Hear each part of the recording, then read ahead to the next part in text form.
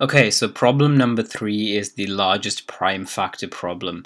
And if we just take a look at this one, what it says is that the prime factors of uh, 13195 are 5, 7, 13, and 9. And what prime factors means is prime numbers that you can multiply together to get back the original number. So, for example, um, if you multiply all of these together, you can see that we get back 13195 like this.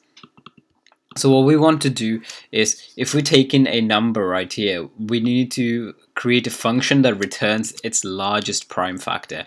So for in the case of 13195, as we can see, it should be equal to 29 like this.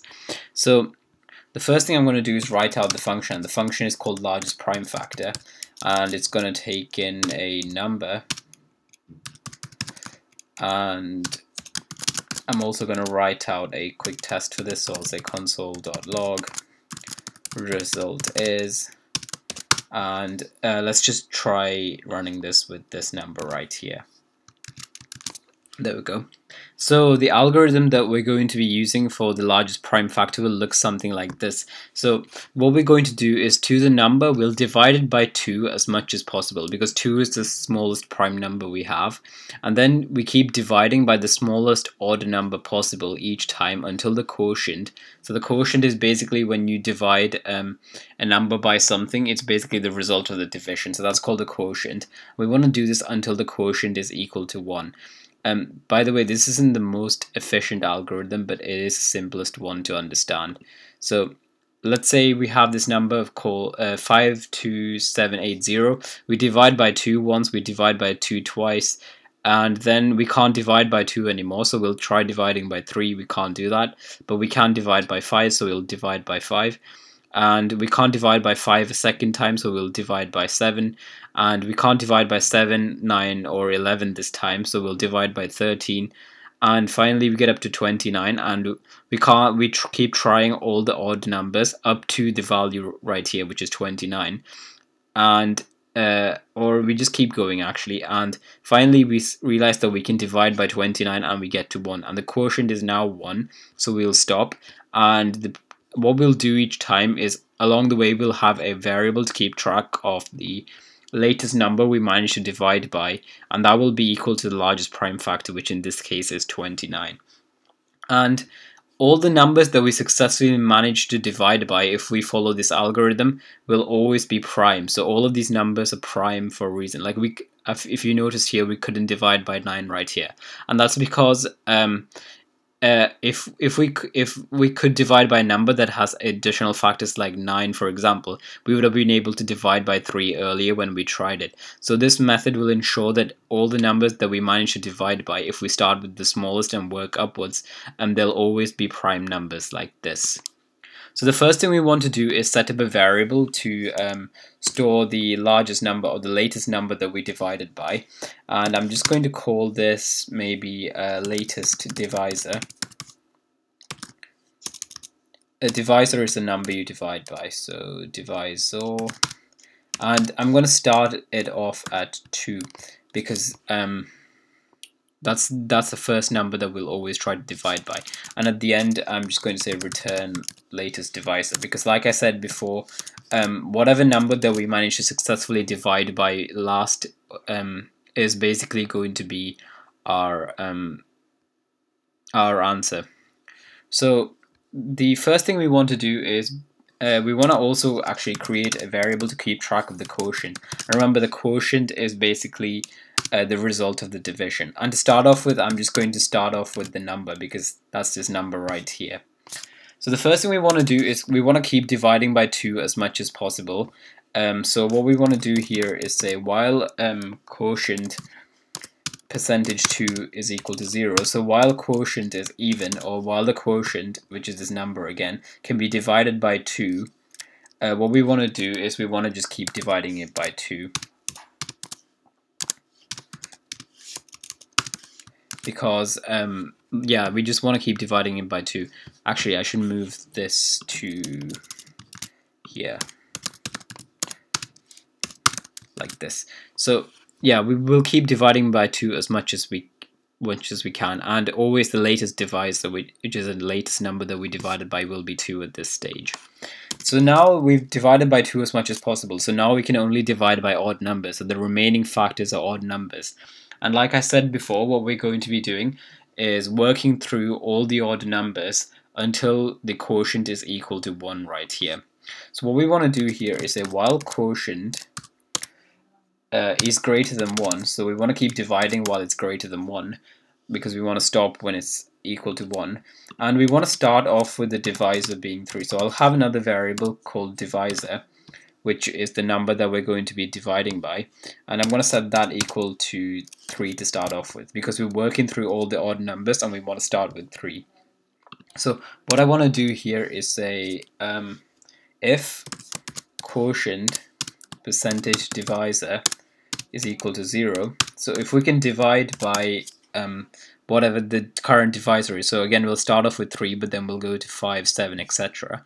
If we can divide it and we get no remainder, so that means we can divide it. We want to make sure that the latest divisor is set to divisor, which is our current divisor. And we want to make sure that we get update quotient to be quotient divided by divisor.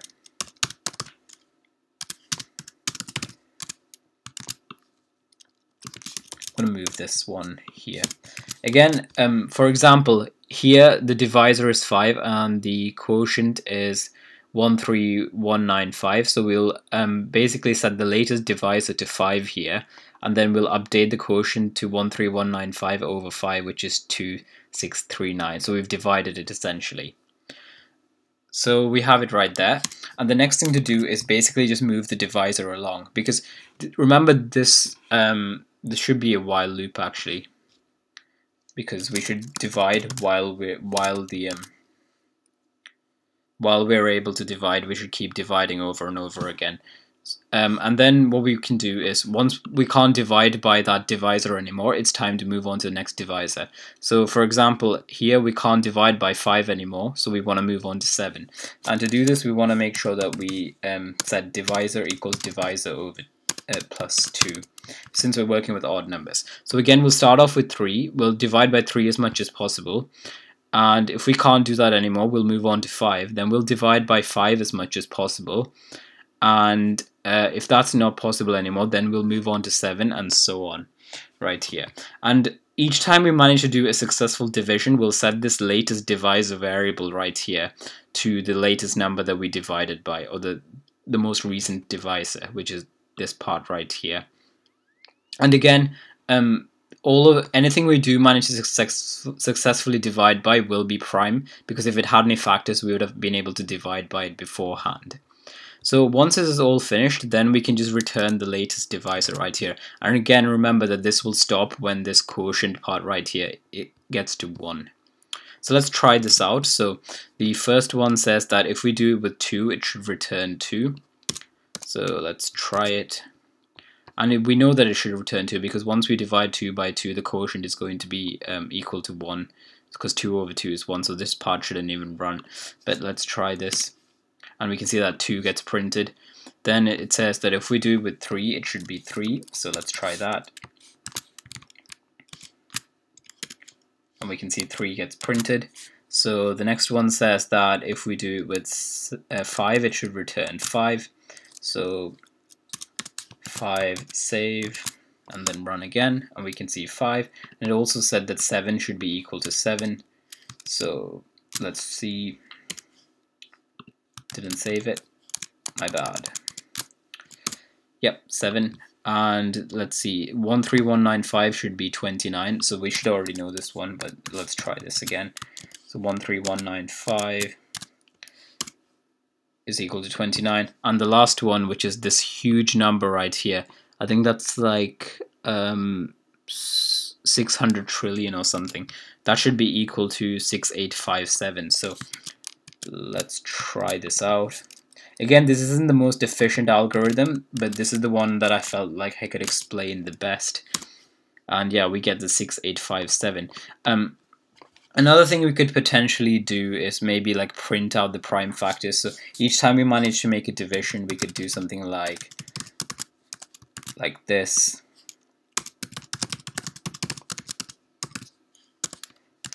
um, I don't know, it might make it a bit nicer to see. So here we can see that it, all the stuff gets printed out. But essentially the function is working correctly. And as you can see that we can, oops, we can find the, um, we can't find the uh, largest prime factor each time. So let's go ahead and submit that. And if we save that now and then run the tests, um, we can see that it passes successfully. And um, you can actually also submit the, your um, answer to the official Project Euler um, progress tracker and it basically asks for this number right here so all we want to do is just basically um, put this number into here and run this and then we want to just input our result and it will also mark it for us so this is separate from freeCodeCamp um, it might take a while for it to mark it but hopefully we should see that it works. Again, if you have any questions about this um, algorithm or something, on you need something explained a bit more, just leave a comment and I'll do that. Yep, and as we can see, uh, we have problem three now completed.